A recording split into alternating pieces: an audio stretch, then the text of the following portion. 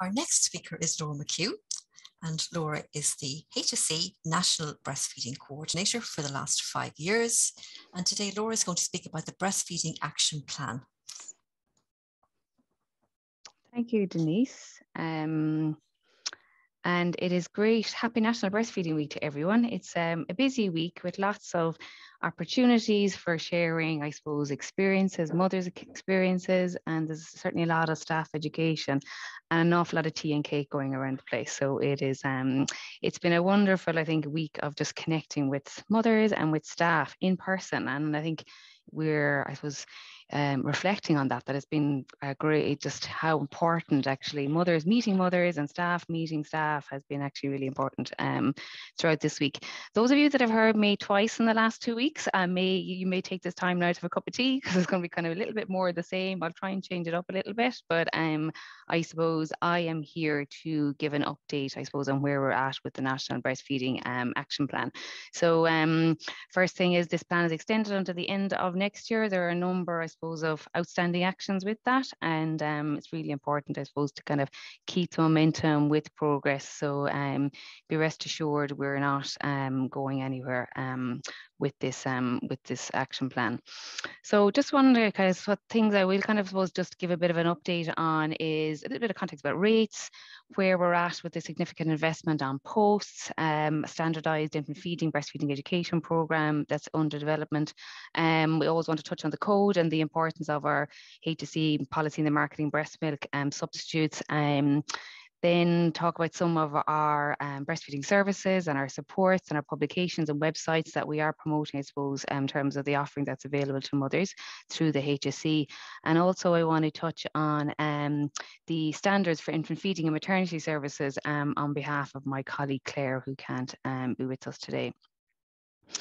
So um, I suppose you know when we think about rates, I suppose um, Ireland is often um, talked about in terms of having low rates, and certainly um, we you know we do feature at the bottom of the league table around this. But I suppose I just what the reason I kind of want to just talk about rates a little bit is just kind of often it's a little bit hard even for those of us who are in kind of um, the business of looking at tracking benchmarks and that we're not always comparing like with like, and there is I suppose variances in definitions and how we I suppose present rates um, um, is is different in different countries and there's different methodologies. Here in Ireland, our rates are based on contacts with each individual mother, based on their um, contact within maternity services or within the public health nursing services. So that's, I suppose, what we um, what we are about in terms of um, what the, what data you actually see, um, you know, coming from Ireland.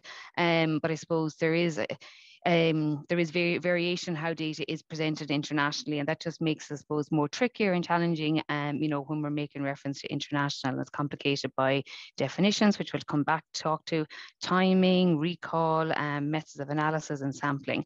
So um, I think it's one of, one of my pitches is that we should be really, I suppose, focusing on trying to um, do work on improving the quality and looking at um, improving rates within our own um, within our own areas.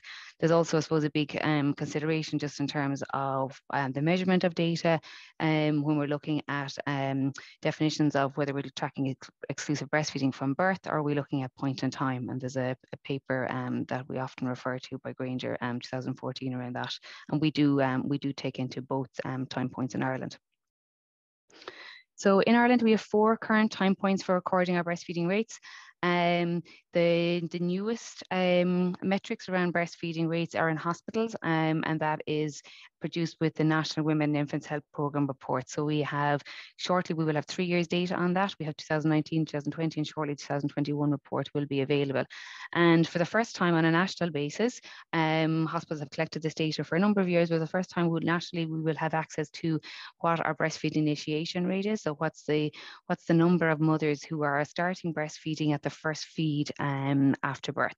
And also, I suppose there are nuances around that for our sick and our preterm babies, and that's also taken into account. So, and then we are also looking at tracking that experience throughout the hospital and we are measuring um, exclusive and non-exclusive breastfeeding on discharge from hospital. So we know typically that is anything from, you know, two days um, you know, between two and five days, depending on, um, you know, mode, um, you know, mode of birth.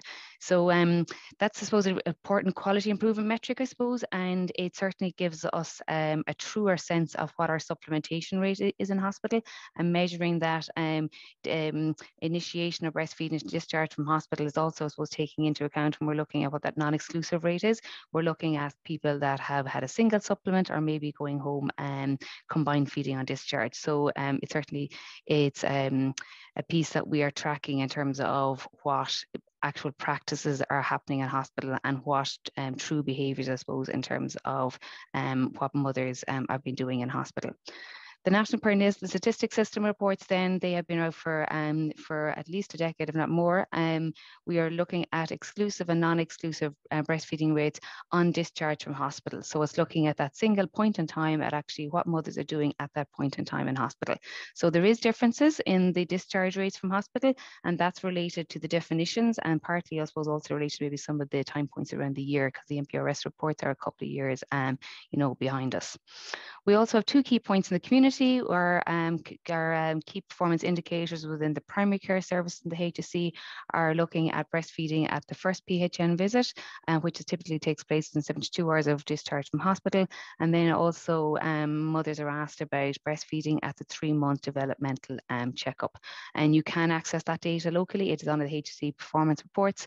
Um, the National Prairies Perinatal Statistic reports that will come out um, and with the come out, uh, they're produced annually. I think the, the 2019 report came out at the start of this year, and certainly the on the HSE website you will also get the National Women and Infants Health Programme um, reports. So we would like to extend the metrics beyond um, three months, but currently that's what's available um, to us on a national basis. And again, just to reiterate, they are actual contacts with um, you know with mothers. So this is a little bit, I suppose, about what our rates actually look like in Ireland and what we are, I suppose, talking about um, in some of our messaging this week, that there is a gradual increase in breastfeeding. We're noting about a 4.8% increase over the last three years, in particular within the public health nursing services at that first um, at that first visit what our NPRS data is telling us that um, breastfeeding rates are increasing with mother's age up to about the age of 39. Um, but as expect as, as we've known, I suppose, for, for a while, and, and the trend is continuing that mothers age less than 24, particularly less than 20, are less likely to be exclusively breastfeeding. Also, mother Irish-born mothers um, are improving um, exclusive breastfeeding rates, but that can't be said for our non-Irish mothers um, or non-Irish-born mothers. Um, mother portion of mothers from the UK, EU, Asia, and Africa have all shown a decrease in exclusive breastfeeding um, over the decade. I suppose when we're looking at the um, when we're looking at um, breastfeeding rates in at three months, it's about 40% of babies that are um, that are continuing to breastfeed at um, at three months. Um, colleagues in the Rotunda have recently, I suppose, looked at their exclusive breastfeeding rates and the factors associated with that. So if you haven't read that paper, certainly it's um it's out in the last month or so, but just makes interesting reading, I suppose, in terms of how we challenge supporting um, mothers who need um, additional help around breast around breastfeeding and certainly um, to promote exclusive breastfeeding. Um, so that's mothers who are maybe have had expected to have planned cesarean section, gestational diabetes, um, obesity levels, and some cultural um, you know factors associated with that as well. Um, the next thing I wanted to just focus on that, um, as many of you will know, to the press and through, um, you know, um, media pieces and certainly within your own services, um, there has been significant investment, the largest ever in breastfeeding and infant feeding support in Ireland in the last two years. So the National Maternity Strategy and the Minister for Health have committed to 34 new posts in the last two years.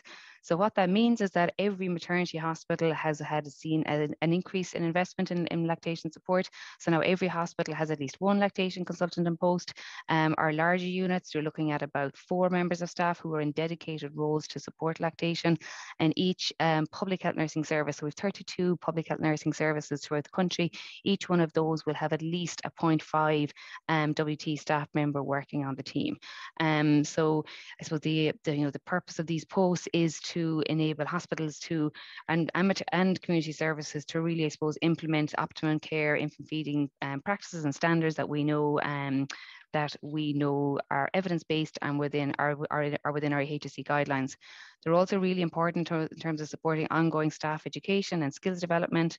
Um, these post holders as well are also, I suppose, expanding the scale of offering within services. So we've seen a lot more um, availability of clinics or, um, regional support groups or online services um, and certainly expanding to ensure our NICU units are getting um, dedicated staff working in there to support mums who are separated from their babies.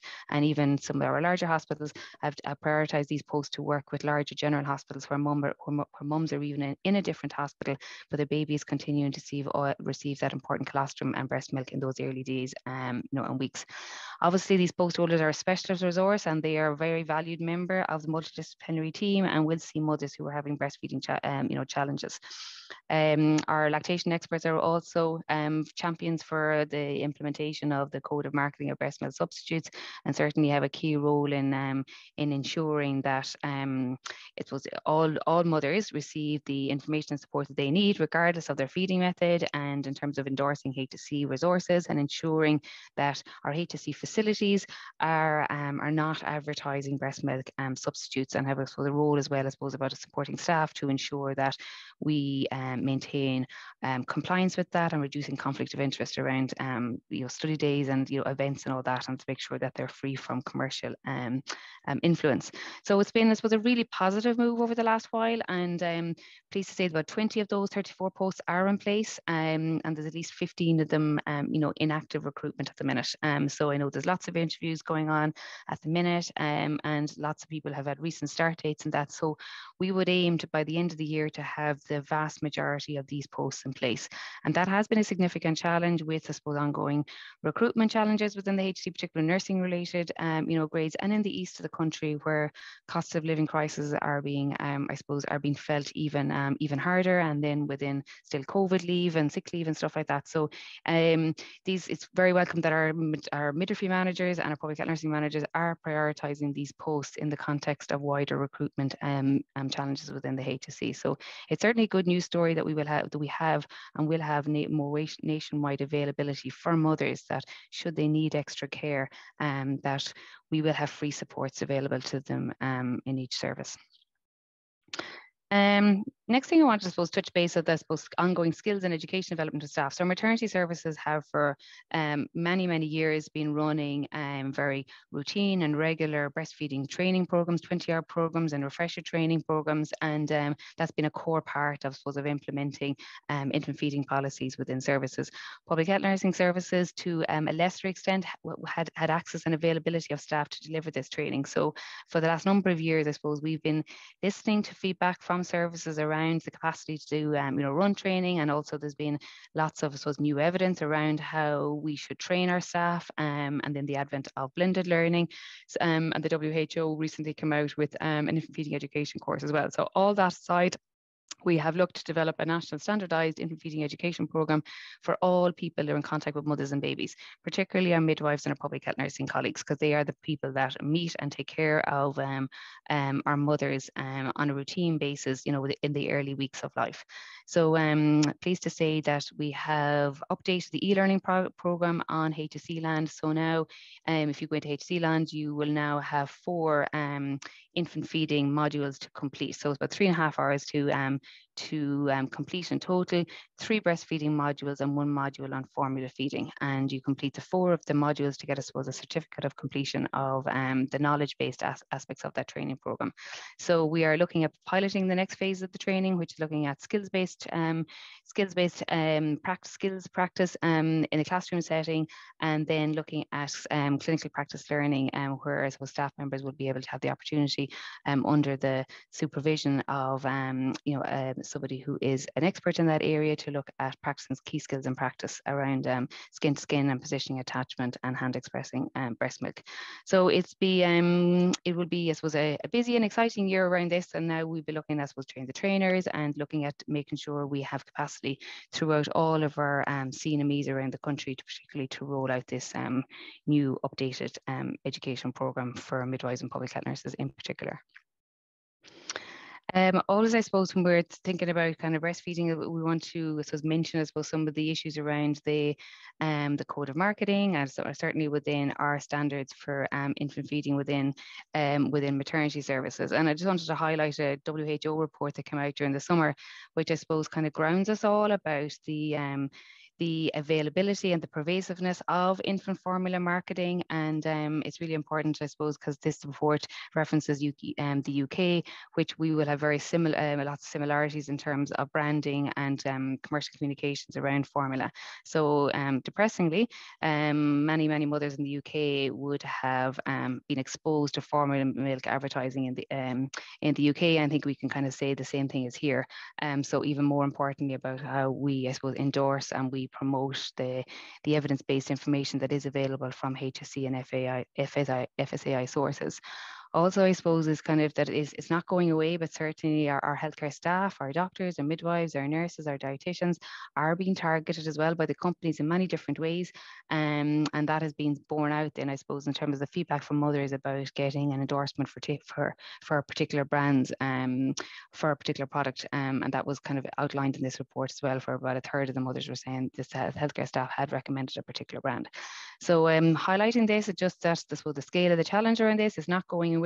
And certainly we have our HSE policy on the marketing of breast milk substitute and a, work, and a guide for staff around how we should work within um, the code in terms of protecting ourselves and certainly protecting our, um, our mothers our, and our pregnant women um, from this some pieces, I suppose, then on a more positive nature around the code and that in Ireland, um, there is a bill currently going through the Dáil called the Online Media Safety Regulation Bill, and should that be passed, um, we will see greater restrictions on the online and um, online advertising and certainly broadcasting um, advertising of formula milk products. So that would be very welcome because a lot of that stuff jars at what we are promoting in terms of evidence-based um, uh, messaging.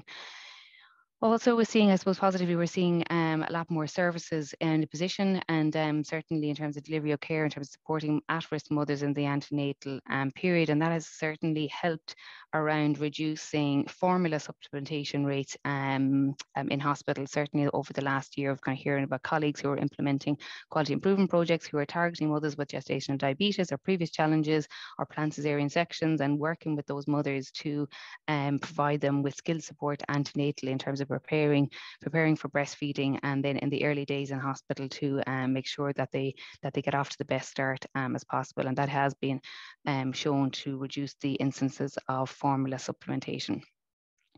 Um, we've, we have seen some, I suppose, specific targeting of staff over the last while around um, formula milk advertising and just terms of kind of e-learning training being offered to staff and um, products trying to get onto the hospital shelves. Um, so that's just something for us all to kind of watch out for in terms of the various ways that um, the HSE services are being targeted um, in terms of the code. Also, we're seeing some great leadership from some of our colleagues around talking about more and more about stepping away from any conflicts of interest with um, with the formula um, industry. So um, that's always very welcome to have more conversations and to support more staff to make those um, to make those decisions. So um, this is a slide where one of us will talk about some of the breastfeeding supports that are available for, um, um, for parents. So everyone knows My Child is the HSE's platform for everything to do with pregnancy, early years, toddler years and beyond. And breastfeeding, breastfeeding is certainly front and center um, in that. There are two main, I suppose, um, strands to the actual website that would that we actually spend a lot of um, investment on promoting is all of the free breastfeeding services that are available and there's a directory by county there where everything from um, antenatal classes, breastfeeding clinics, support groups, maternity hospital contact details and the range of in-person um, and virtual offerings are being um, expanded. So currently we've about 110 groups, it's growing every week um, and people, we were, we we're always asking people to kind of keep the information up to date because it is it is I suppose kind of prioritized in terms of sponsored posts and advertising. So we want to make um, mothers and um, healthcare staff aware of the supports available in their area. And these are HSE supports, volunteer-led supports by Leslie, Cuidiú and Friends of Breastfeeding. And these are very popular and I suppose, you know, evidence-based supports that we want to point mothers to to let them know that there is help out there and not to see, hesitate to seek it out. Um, I was at a, um, a local breastfeeding group here in Clare this morning and it was really nice to go into the room and meet mother um, who was pregnant and this is her, she's due a baby shortly, but this is her second time coming to a breastfeeding group before her before her baby um, you know arrives. And I suppose it's really important that we that we kind of advertise that and that these are supports that people can also attend in the antenatal education period. Also, we have a range of breastfeeding content on the website and all that information has been recently updated and we always welcome new content on it. Um, but it's again, it's kind of evidence-based information and advice around um, what to expect um, around breastfeeding and early days advice. There's an Ask the Expert service available Monday to Friday, um, 10 to 3, where you can live chat with an IBCLC, ask any of your breastfeeding questions or outside of those hours. You can email and you'll get a response within 24 hours. Again, another very popular um, service uh, for parents. Just some activity in terms of just website tracking and kind of clicks on click to view pages. So the My Child site, site has seen about 2,000, 2.8 million visits in the first six months of this year. And some of the top breastfeeding pages that people are interested in is about how much milk to express, taking medications, positioning attachment, combination feeding, restarting feeding, and how to tell if my baby is getting enough milk. So many of the issues and challenges that we've something we talked about today already, but um, you know that we know that mothers are looking for information on. So there, um, I suppose it's good that they are contacting the HSE sites for some um, support and advice around that. We also have a number of publications um, that that do get updated very regularly. Some of the two recent ones are the Breastfeeding Good Start in Life booklet that all mothers get when they're pregnant. We have done a similar resource for um, working with Pavee Point around breastfeeding information for traveller mothers. Um, last year, we updated the publication on breastfeeding expressing for your premature and sick babies. So any babies that are separated from their mums or that, that they'll get in contact, that they'll be in contact with the NICU staff and to get them, I suppose, hand expressing and using pumps and what, and, you know, and um, how to support breastfeeding when the journey is quite different from a normal term healthy baby. Um, the resources for staff that we kind of to point to is the reflection guide, I suppose, about how to work within the code in terms of looking at the different opportunities in terms of how the industry can try and influ influence um, healthcare staff um, and by virtue of that then in terms of getting um, their messaging out to um, out to parents. And I know Fergal mentioned this already, but again to highlight the and um, the resource in St. James's in terms of breastfeeding and lactation advice. And this time last year, they updated the bulletin for breastfeeding and lactation. That's certainly um, a popular evidence-based resource for people to refer to. So um, finally, I wanted to suppose, touch on the baby friendly initiative. So Mara, in May of this year, um, after a number of um, after a number of years work, we uh, published our national standards for infant feeding and maternity services. Um, and this is under the auspices of the Women Infant Health Programme. And we are now in, so in starting the implementation phase of that. So this is where we have reviewed the practices of infant feeding and looked at previous standards in this area and aligned them with um, the quality improvement program, HIQA, that um, all maternity services are um, very familiar with, and they work under that in terms of implementing the national standards for maternity um, for safer, better maternity care. So we have 11 standards across eight themes, and we have a national lead appointed within the National Women Infants Health Programme, Claire Kennedy, and really important, I suppose, that these standards are aligned with other implementation processes within maternity services and the Women and Infants Health Programme. And this is supposed to I suppose, support and enable hospitals who are being, I suppose, you know, um, met with trying to make sure they are delivering optimum care with many areas, including infant feeding. So certainly there is um, a lot of thought and I suppose consideration going into how implementation works across many of the standards and looking at aligning um, self-assessment and monitoring and supportive processes um, um, across that. Um, and one of the main themes we are looking at, I suppose, in implementing the national standards for Infant feeding maternity services is getting all 19 hospitals units um, on board with this. And certainly the level of uh, the investment of the infant feeding post and lactation has been aligned to that. So certainly we want to support and I suppose enable units to um, you know to carry out all of the changes that they know are you know are needed and to support each other in terms of doing that in terms of sharing information. There's an um, infant feeding lead forum going to be set up. Many of our lactation consultants meet informally and lots of other different groups.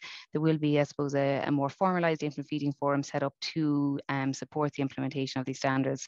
Again, sharing information and strategies for implementing changes. There's lots of models of good practice happening within units. We certainly want to share that learning and um, and look at opportunities for collective working as well, um, and also kind of reduce duplication um, of effort. Claire will be available, I suppose, for in-person support with hospitals, and there's certainly a kind of a, um, you know, a real drive around that, around enabling and really supporting units. Um, self-assessment is going to be the initial phase of implementation with this, and there's self-assessment resources um, being developed where um, very people are very familiar with um, staff and staff and mothers interview tools, and based on um, based on the infant feeding standards, and also then I suppose there's kind of looking at criteria across the eight themes and the 11 standards that if you're looking at, you know, within our services, what what you know what do benchmarks look like from from a management and an organizational level, and people will score themselves, I suppose, you know, against those eight themes. Um, this will be an annual process. There will be, as well lots of support ongoing in between that.